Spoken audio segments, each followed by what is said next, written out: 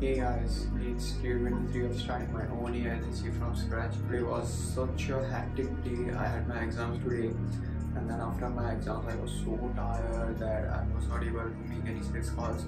But the good part is, me and my friend, uh, the co founder, we were sitting for almost two hours discussing about the offer which we are going to create, and uh, be this offer to you all on this Sunday. Just we figured out all the points where the AI can be implemented in a particular business in any niche.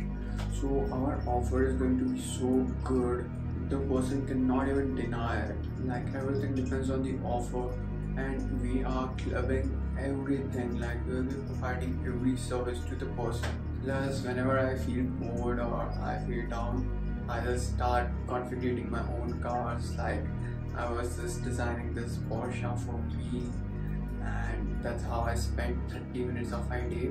And uh, in the morning today i built a website in just 20 seconds. Tomorrow i'm going to show you how i did that using framer.com but 20 seconds is all it takes to create your own agency website. And it was so freaking professional. No one can say that it was created by an AI. The good part is that you can publish it on your own. The domain does not matter at all. The only thing matters is the content you post in it.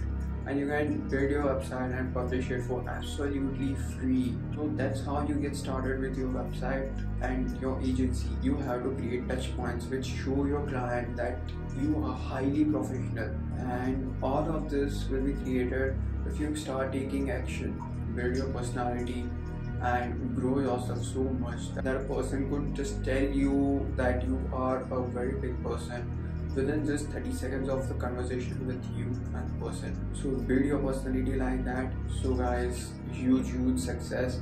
And I would be speaking up much today because I'm so tired right now. I had my exams and uh, I did a brainstorming session with my friend. So I'm so done with the day. So see you all tomorrow and Sunday is going to be so huge. I will drop down the link of the website which we created using AI in just 20 seconds? So check it out and see you all tomorrow